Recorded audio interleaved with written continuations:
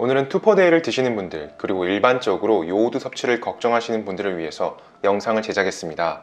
요즘에는 아이오딘이라고 부르지만 편의상 요오드라고 부르겠습니다. Two Per Day에는 두 알을 먹을 때 기준으로 150 마이크로그램의 요오드가 들어가 있습니다. Two Per Day와 다르게 우리나라 비타민들은 대부분 요오드가 들어가 있지 않습니다. 하지만 이런 Centrum 같은 외국에서 들어온 제품들은 요오드가 있습니다. 또한 뭐 국내에서 찾아보면 한미약품의 나인나인 같은 제품에도 들어가 있고요. 먼저 2015년에 발간된 한국인 영양소 섭취 기준을 봅시다. 나이별로 그리고 성별에 따라서 요오드 섭취 기준을 보면 단위는 일반적으로 사용하는 마이크로그램입니다. 성인 기준으로 보면 권장 섭취량은 150 마이크로그램이며 상한 섭취량은 2400입니다. 일반적으로 영양소를 섭취할 때는 권장 섭취량보다는 많게 상한 섭취량보다는 적게 그래서 그 두개 사이로 드시는 게 좋으며 요오드의 권장 섭취량이 150 마이크로그램이므로 투퍼데이와 센트룸을 드시는 분들은 일반적인 식습관을 하신다면 크게 걱정하지 않아도 된다는 결론이 나옵니다. 여기서부터 조금 더 깊게 살펴보면 상한 섭취량을 도출한 방식과 공식을 봅시다. 상한 섭취량을 설정하려면 당연하게도 근거가 필요합니다. 상한 섭취량을 넘어서 복용하면 부작용이 나타나야 하며 어떤 신체적인 문제가 발생하는 시점을 의미합니다. 여기서 설정한 근거는 단순 갑상선종을 가진 사람들의 평균 소변 요오드 배설량으로 산출했고 이분들의 소변 배설량이 하루 2880 마이크로그램 per 리터로 측정되었습니다. 소변량에 따른 평균치로 요오드 배설량을 3600 마이크로그램으로 설정을 하여 불확실 계수 UF를 인종이 유사한 일본과 동일하게 설정하여 1.5로 책정하였습니다. 이렇게 도출된 상한 섭취량이 2400 마이크로그램이죠. 공식에 따르면 이론적으로 2400을 매일매일 먹었을 때 안전하다 이렇게 보고 있습니다. 그래서 과학적 팩트로 상한 섭취량 이상으로 복용 시에 부작용 가능성이 올라가는 걸 사실로 하며 넘어가겠습니다. 2020년에 나온 따끈따끈한 논문을 봐봅시다. 제가 궁금한 것은 한국인들이 해조류도 많이 먹는데 그럼 도대체 식생활에서 어느 정도 요오드를 섭취하고 있는 건가?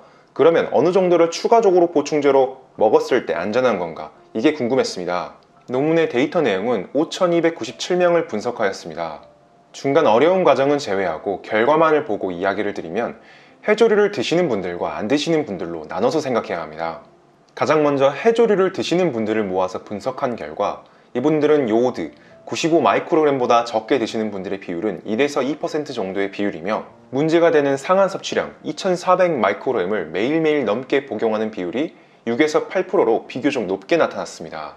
그리고 상위 1%이신 분들은 하루에 99만 마이크로그램을 매일매일 섭취하시는 걸로 나왔고요. 도대체 무엇을 드시고 사시는지 정말 극단적인 수치로 드시고 계셨습니다. 1%니 100명 중 1명이라 적은 수치도 아닙니다. 2400이 넘으면 문제가 생길 수도 있는데 99만이면 뭐 아무튼 그렇습니다.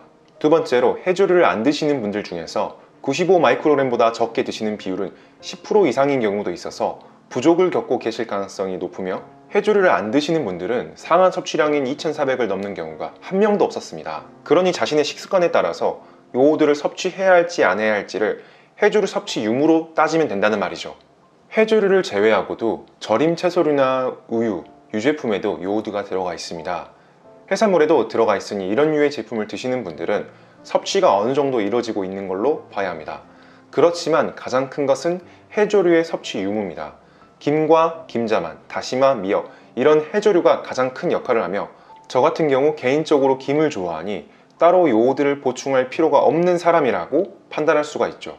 요오드 메가도스에 대해서 조금 이야기를 하면 요오드 메가도스를 해도 안전하다 주장하는 측에서 사용하는 근거 중 하나가 amiodarone 이거 요오드 함량이 엄청 많음에도 불구하고 부작용 없고 안전하다 이런 식으로 주장을 하기도 하는데요. 한림대학교 한상진 교수님이 쓰신 논문을 보면 amiodarone 섭취 시 갑상선 기능 이상은 흔한 합병증이라고 했습니다. 흔합니다. 요오드 섭취 시에 갑상선에 영향이 가는 건 사실이고 고용량이면 더더욱 영향이 있습니다. 이게 이제 이 부작용이 발생할 가능성이 당연히 있으니 인지를 하고 당연하게도 병원에서 주기적으로 검사하며 조절을 하니 안전해지는 것이죠. 아 안전해 검사조차 할 필요 없어 이러면 문제가 되죠.